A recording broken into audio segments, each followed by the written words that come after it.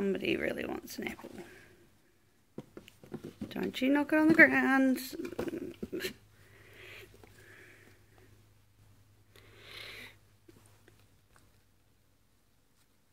Okay, you've got it.